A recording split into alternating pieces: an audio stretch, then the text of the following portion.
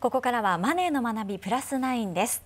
急激な円安が進んでいる中円安は投資家にとって得なのか損なのかをお伝えしてきたシリーズの第4回目です。ゲストは多摩大学特別招聘教授の真壁昭夫さんです。よろしくお願いします。さあ先週までの3回ですけれどもまずは円高円安なぜ分かりづらいかそして日本株は円安でどうなるかなぜ円安になるそのメカニズムについてお伝えしてきました。過去の放送はテレ東ビズでもご覧いただけます。そして今回は歴史から読む円の未来をテーマに過去の歴史から現在の円安はこの先どうなるのかを考えていきます。はい、えー、このコーナー定番ですがまずはトラウデンさんの問題で、はい、と思ってました。はい、今ですね、えー、円相場大体1ドル128円台ぐらいですね。うんうんうん、50年前はいくらだった、はい、50年前。これ先週高井さんおっしゃってませんでしたか？覚えてらっしゃいますか？す確か360円とおっしゃってた正解300円台ですね。えあジャスト50年前だと300円ちょっとぐらいなんですけどその前が360円の、えー、固定相場制がずっと続いていたという歴史が、まあ、今ちょっとチャートが出てますけども、えー、こんな感じですね。えー、で、まあ、ちょっと歴史を振り返るといっても50年だとちょっとね長すぎるので、えー、切り出してですねちょっと期間を、えー、順番に見ていきたいと思うんですけども、まあ、今直近がここですけども、えー、リーマンショック以降、まあ、クローズアップするとこんな動きになってました。これかなり急激な円高円安という動きだったんですけどこの時は何が起きたんでしょうかあのこの時はですね、まあ、リーマンショックっていうのはあの当然のことなんですけどアメリカの証券会社、まあ、あの投資銀行ですけども、はい、これが破綻をしてであの、えーまあ、いろんなところに影響が出て特にアメリカの経済に対する打撃が非常に大きかったんですね。したがってアメリカの経済が落ちましたからドルが安くなって、えー、その反対の円が高くなった。でしたがって120円台からあのかなり円高が一時的に進んだんですね。でその後急激に円安に戻った、うん、これは日本側のアクションが大きかったわけですね。そうですね。あの日銀の異次元緩和策っていうのがありましてね。要するにもう次元もうなりふり構わず緩和をしてしまおうということをしたんですね。したがって金利が日本の金利が下がった。円金利が下がりましたからあの先週勉強したように、まあ、短期的にはどちらかというと金利が非常に大きいので、うん、円の金利が下がったんで円が反転して今度は円が安くなってドルが高くなった。でもタイミングとしてはここで危機があったけれども欧米経済が少し戻ってくるタイミングで日本が大きく緩和やったんで円安反応したと。はい、で今起きているのはちょっと違うまた周囲円安が起きてきているという、まあ、これちょっと最後にあの今の円安は何だろうというところで、えー、振り返ってみたいと思うんですけれども、はい、まあ、こういうタームがありましてでじゃあ金融危機の前のちょっとですね、えー、前を振り返ってみるとこれ90年代の半ばから、えー、2000年代の半ば、まあ、この間というのは逆にあの日本が金融危機というか金融システム不安を抱えていた時期です。が、えーはい、この時の動きをちょっと解説していただけますか？はいあの1990年にあの日本のバブルがはじけまして、はい、要するに日本の経済が悪くなったんですねで特に一番悪くなったのがそこにあります97年11月そこまであの日本の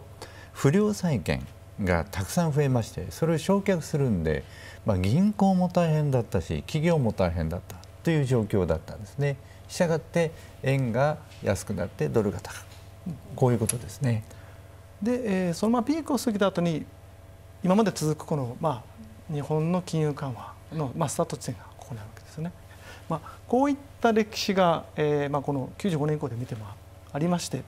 まあ、さらにね、えー、遡っていくとプラザ合意っていう、えー、これはあのドル高の是正を目指すということですね。えー、まあ、当時はドルが強すぎて世界経済にいろいろ歪みがあったのでこれを是正しましょうと。いう動きがあって、まあ、さらに言えば、えー、固定相場でで360円だったものを、えー、変動相場にしてこの間の期間というのはできるだけドルを安くしましょうということを国際協調でやったわけです、ねはい、まあ、長い目で見るとですから非常にドルというのはこう安くなってきたという歴史があるんですけども、うん、この歴史を踏まえて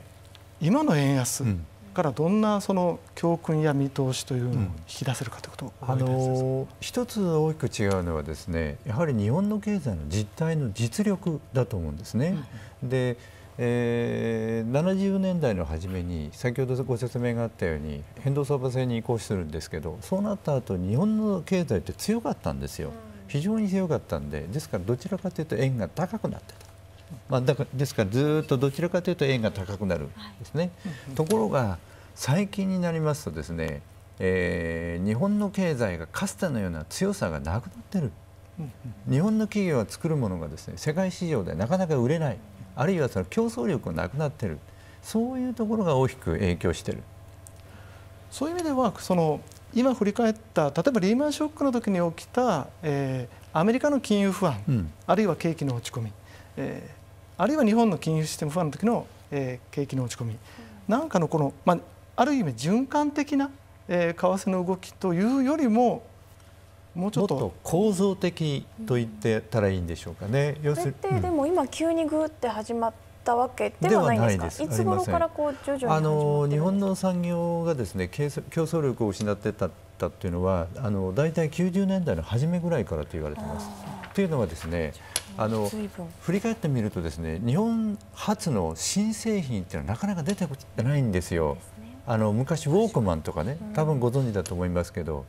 あのトリニトロンとかああいう電家電製品がたくさん売れた時期これは強かった。ところが最近になると新製品っていうのは強いてあげるとハイブリッドカーぐらいでしょ。う、うんうん、そうですね、うん、まあ、それも EV に移行しています、ね、そうなんですね。ということでいうと今起きてる円安というのは、まあ、過去の、えー、どこに似てるかなというとあえて言えばまあ2000年代半ばにアメリカが連続利上げをしていった場面と、うん。うん金融政策のパターンは似ていますけれども為替の動きとしてはもうちょっと構造的なものである可能性が可能性がありますね、ですから今の日本の経済の実力がですね、まあ、こういう状況でついていってしまうとなかなか日本のその経済というか国の国力というかそういうものがなかなか戻ってこない、まあ、トラウデンさんがねあのご指摘されたように、え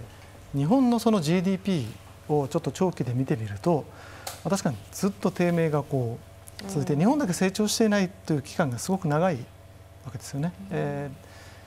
ー、で突然安になったわけではなくてやっぱりこれがたまりにたまったところに今ウクライナ危機になり、ね。えー、急速なインフレなりが進んできてと。そういった歴史と現状を踏まえた上で投資のヒントをフリップに書いていただいているということなんですがお見せいただけますか？あのフリップはです